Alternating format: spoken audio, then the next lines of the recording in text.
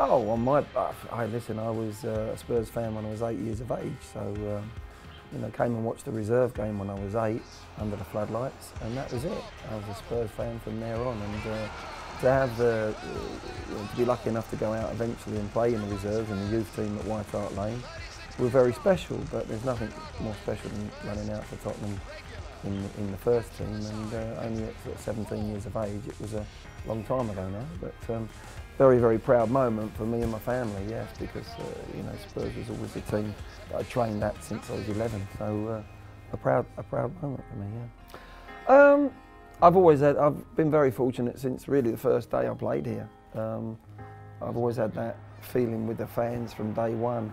I always said as a youngster coming here, um, playing here, the, the style of football that I had, I was made for Tottenham.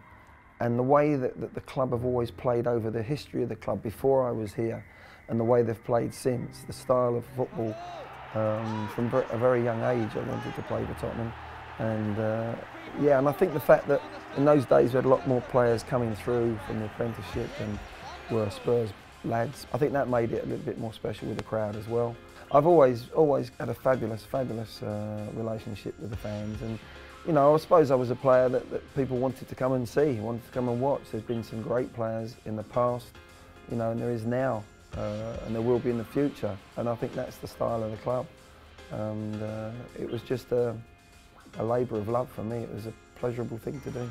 You know, I think it's, as I said, it's a very technical club, Tottenham. They've always looked at special players and players that can make the difference and do do things that are out the ordinary and um, I think they're the style of, of, player that the crowd have always loved here.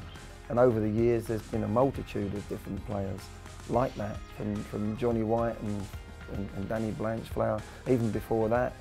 Uh, right the way through to the, to the current squad you'll always have technical players.